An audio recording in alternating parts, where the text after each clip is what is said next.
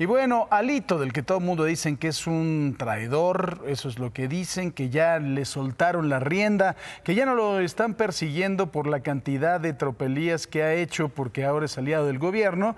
Antes de conocerse esta votación, el presidente del PRI aseguró que se respetaría el voto que emitan las y los senadores en contra de la reforma aprobada en San Lázaro para ampliar la presencia militar en las calles. También le mandó un mensaje a otros líderes de oposición que ven en él desconfianza para continuar la alianza Va por México. Pues cómo no, el señor es una facha, se ha aliado no del gobierno, el señor creo que es medio rata, dicen, ¿no?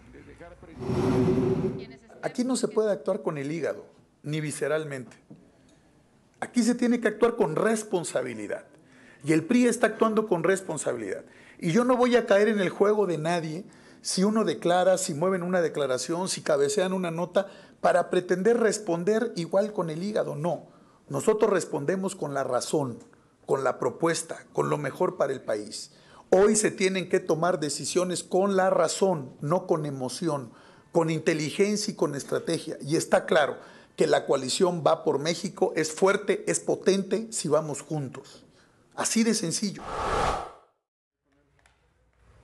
Imagine nada más, eso es lo que dice el señor en una conferencia de medios, pero si se le escucha en su propia oficina, ahí mienta madres, y, pues bueno, amedrenta periodistas, hace planes, roba dinero, pero en las conferencias él no va a contestar con el hígado. Bueno.